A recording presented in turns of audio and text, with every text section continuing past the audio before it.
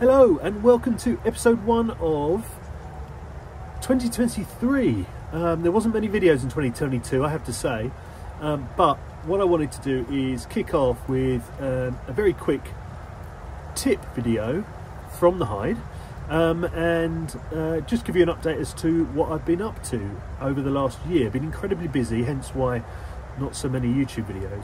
Um, but my wife and I have been building a new business called Pond and Perch Wildlife Limited, um, which is um, hide hire down in some woodland in Kent for photographers. Um, but it's also uh, workshops and uh, editing tutorials as well, um, seminars and all sorts of different stuff. So I thought what I would do to kick things off is do a quick tip video for editing in Photoshop and specifically looking at background colour for your bird and wildlife photos. So as I said, it's going to be a quick video and the thing I'm going to talk about in this particular quick tip video is colour in your backgrounds.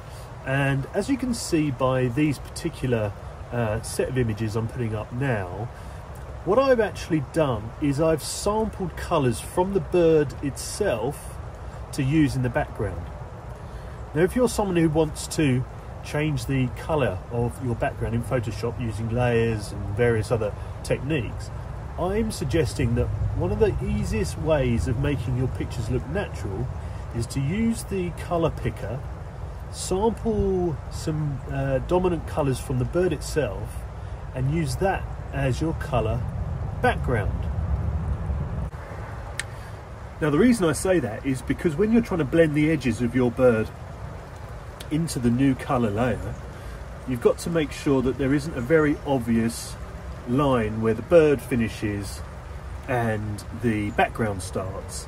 So using the same colour, it means you can overlay uh, the background onto your main image without worrying too much if there's a little bit of bleed from the colour into the bird itself. And that is my quick tip from the hide.